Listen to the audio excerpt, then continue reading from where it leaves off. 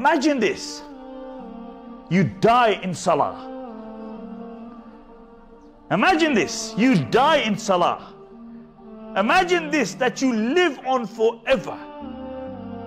The Messenger of Allah wasallam said in a hadith, when a person comes to pray his salah and he's waiting for the salah to begin, like all of you are waiting for the salah to begin, the Messenger of Allah said that person is in his salah. So all those who were waiting for the salah, they were martyred, they were shot, they get their reward as though they were shot whilst praying in salah. Not only that, then Allah gives them glad tidings. Allah subhanahu wa ta'ala says, لا تحسبن الذين قتلوا في سبيل الأموات بل أحياء. He said, those who are martyred in my path, what place could be better than the house of Allah subhanahu wa ta'ala? What place could, what day could be better than the day of Jummah? The Messenger of Allah said, the sun has not risen over a day better than the day of Jummah. What salah could be better than the salah of Jummah? Allah says, do not regard those who have been martyred in my path on Jummah, in salah, dead. But by Allah, they are alive. So subhanallah, they are alive by Allah subhanahu wa ta'ala. And Allah subhanahu wa ta'ala sustains them. So alhamdulillah, everybody goes on to their Lord. You know, it's a mindless shooting. It's loss of life. Condolences to the family. But for the martyrs, for the shuhada, inshallah, Jannatul Firdaus. Inshallah, Jannatul Firdaus. Secondly, I also want to mention, you know, really, we need to think before we do things. People have been circulating this video of the shooting. Why have you been circulating it? Exactly what the murderer wanted you to do, you did it. Why do you think he live streamed it? So people would circulate it, others would see it, and maybe it would encourage others to do exactly the same. Allah subhanahu wa ta'ala says in the Quran, لا تعاونوا على الإثم والعدوان Do not assist each other on sins and transgressions. We need to think before we do these kind of things. One, I've seen it even on ulama forums, people have been circulating. Let me ask you one question. If it was your own family who were gunned down, would you like other people to circulate it? Then the Messenger of Allah said, None of you can be a true believer until he loves for his brother what he loves for himself. And finally, I think this is a lesson for all of us that as believers, you leave the dunya sooner or later, but the greatest thing that you can do is leave a legacy.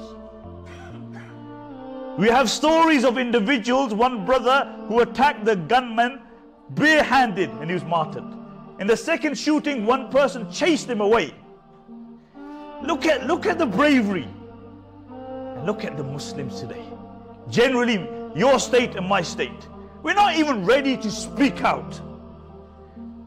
So when you get gunned down, you get tributes for a day or two and then everybody forgets you. You know why? Because you're Muslims. And why should anybody back you up when you're not ready to back yourself up? It's been 19 years you've been apologizing for everybody else's sin. Let me ask you, has it done you any good? No. Politicians don't give a damn about you. You look at the Conservative Party. You look at what Boris Johnson can say and others can say about the Muslims. You look at Sajid Javid, he strips you of your citizenship. Vast majority have been stripped are Muslim. Nobody gives a damn. You know why nobody gives a damn? Because you haven't got the bottle to stand up. You're weak kneed, lily livered, and this is why nobody gives a jack about you. And this is why, brothers, sisters, you know, at least stand up for your rights. You know why? Because when you're standing up for your right, you're standing up for the, your children to come. Your children to come. Many people think that you actually deserve it. So, brothers and sisters, be those individuals who stand for the truth Maybe for yourself, or the protection of yourself, or maybe for the protection of others.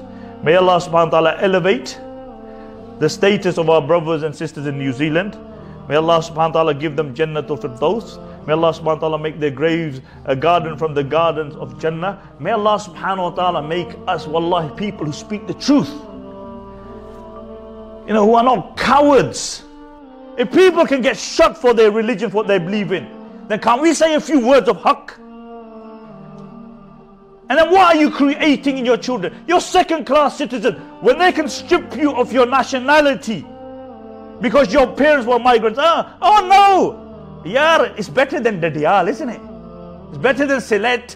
Birmingham is better than Sylhet and Dadial. It could be worse. What, what kind, what kind of, you know, second class citizen are you ready to live as? So, brothers and sisters, listen. I've said this a hundred times here. Yeah, create a bit of backbone. I'm not telling you become mavericks, but if you don't do it, then somebody will do it, like those people who we don't want them to do it, and then you'll complain they don't represent us. Well, they don't represent you because you were never ready to do it.